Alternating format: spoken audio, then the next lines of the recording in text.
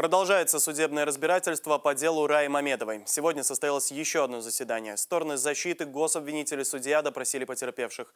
В какой-то момент высказаться решила и сама подсудимая. Допрос в итоге перерос в препирательство. Рай Мамедовой не понравились ответы потерпевшего Дмитрия Кожеватова. И несмотря на то, что у нее есть адвокат, женщина взялась себя защищать самостоятельно. Сейчас говорите, что я вас заново начала клеветать повторно. Разве такое было? Это, В какой момент я Момент уточняю? переписки. это, 30 июня это момент было не в переписке, это было в группах ВКонтакте. В группах. Вы только что сами сказали, что Рая говорила, где-то умник Дмитрий. Умник это разве оскорбление? Это, это была угроза найти меня.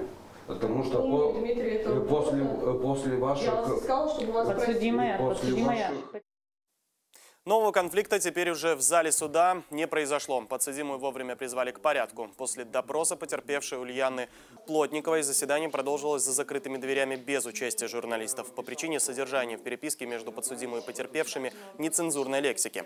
Напомним, скандал с Раисой Мамедовой произошел прошлым летом. В честь одного из сургутских многоквартирных домов появилось видео с предложением провести беседу с детьми, которые якобы портят лифт. Подсудимой это не понравилось.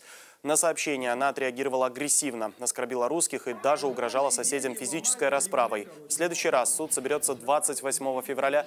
Возможно, что по этому делу уже в последний раз.